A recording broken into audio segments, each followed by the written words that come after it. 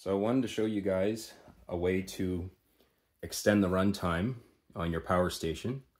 So this is the Delta 2 and the extra battery that you can get for it.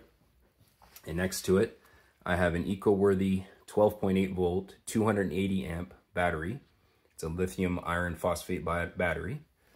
And I have it connected with this one cable, which is ring terminals on one end, and then it goes to an XT60i connection on the other end. So the ring terminals will just go up on your battery, black to black, red to red, and then you plug the XT60i cable into the solar input on the back there. So with it connected like this, it's going to give you around 100 watts constantly going into your unit.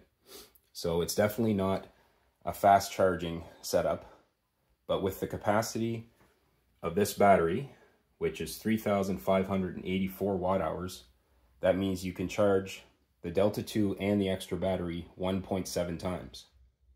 But bear in mind, at that speed, at the 100 watts, it is going to take you about 20 hours to completely recharge this. So you're also going to need a way to charge this battery up when it needs to be charged. So you're going to have to have a 12 volt smart battery charger. And this one here is a 10 amp. So it's charging at 14.6 volts and at 10 amps. So that's 146 watt hours it's charging at. And to recharge this battery, if it was completely depleted, you're looking at 24 and a half hours. So again, this is this is not a, a fast charge system here, guys. But what's nice is that when you have this simple setup with this cable, you can use it to charge up smaller power stations as well.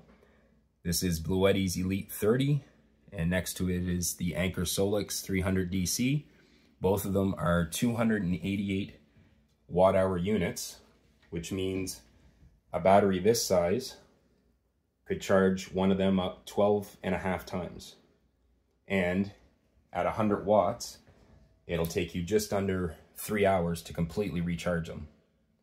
So it's not a perfect system, but it is a way to extend the runtime on your power stations.